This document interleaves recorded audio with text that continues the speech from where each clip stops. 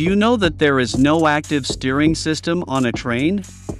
Then, how train wheels follow a curved track? Let's find out in this video. It will be easy to understand with 3D animation. This is a train coach and two bogies. Coach is fitted on the bogie frames. Wheel sets are connected with bogie using bearing. Thus, train weight is supported by the wheels. We already mentioned before that wheel set is actually two side-by-side -side wheels joined with center axle. It always rotates as a single unit. That means one side wheel cannot rotate faster than the wheel on the opposite side. Bearing on both ends helps it to rotate quite freely while supporting the total weight on the wheels. A rail wheel set can follow a curved rail without any external steering force. The secret is in its design. You probably know that rail wheel's outer surface is not completely cylindrical. If it was, then, wheel set could be able to follow straight rail lines like a car wheel rolls on road. But when the rail's curve section begins, there will be no steering force to turn the wheelset to follow the curved rail. This means a cylindrical shape cannot follow a curved rail track. That's why rail wheels are not cylindrical in shape. Rail wheel's outer thread section is slightly semi-conical. This is a cone, and this is a semicone. On a plane surface, a semicone cannot roll straight. You can clearly see here. At green color marked side, circumferential length of the circular section is smaller. Opposite side marked with violet, this side circumferential length is larger. Or you can say green side diameter is smaller and the opposite side diameter is bigger. At same rolling speed, larger section will try to cover more distance than the smaller side. While rolling, a semicone always turn towards smaller side. A rail wheel set follow the same physics principle. Let's assume this wheel set running on this rail track. Thread section of wheels, which is in contact with rails, are marked with red color for better understanding later. Both side the running thread diameter are same. That means this wheel set will act like a cylinder and will keep rolling straight over the rail track.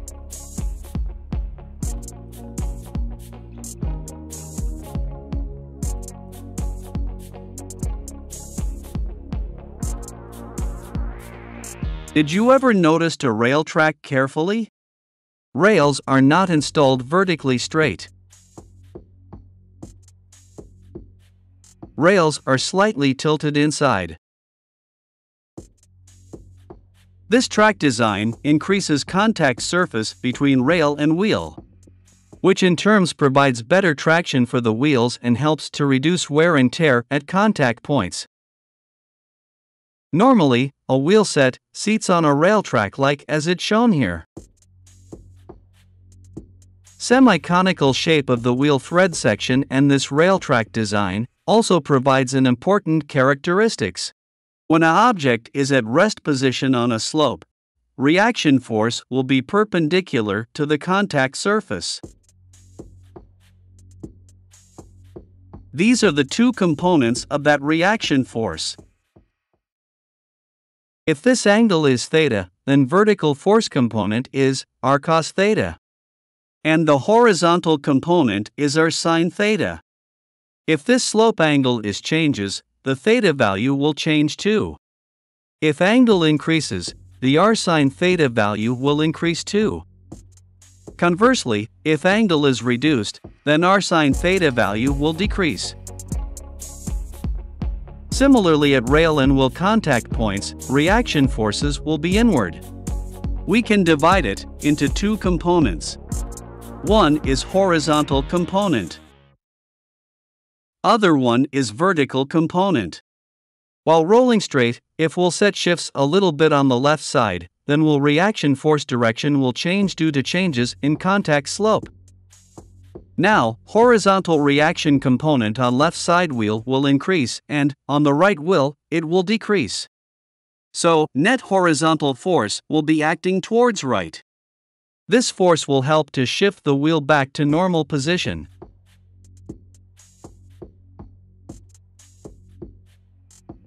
In opposite, if wheel set slightly moves to the right side, then horizontal reaction force on the right side wheel will increase.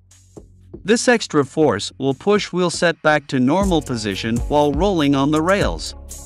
This way a wheel set adjusts its position while rolling on the tracks.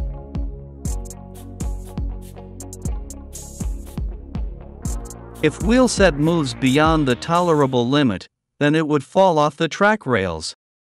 That is why, wheel flange sections are added as a last resort to prevent wheel derailment from the track. As you can see, when a straight rail track starts turning to the right side, primarily a rolling wheel set will try to go straight. This will shift the wheel set slightly left side on the track, as a result, the contact point between the wheel and rail on both sides will change. Right wheel's running thread diameter will be smaller, and left wheel's running thread section's diameter will be larger. Now wheel set will act like a semicone. We know that while rolling, a semicone turns towards smaller diameter side.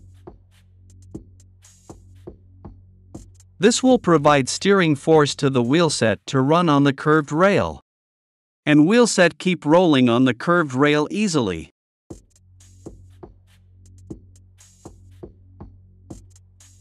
During this, net horizontal force will be acting against centrifugal force.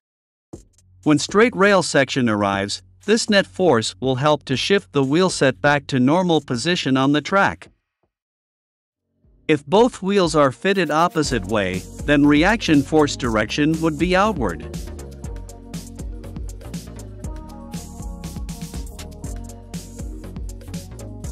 At the starting of the curved rail, semi-conical shape is in opposite way, its smaller section is at wrong side. This wheel set will try to turn in wrong side instead of following curved rail. That's why rail wheels are not designed like this. If you found it interesting, then give it a like. Thank you for watching.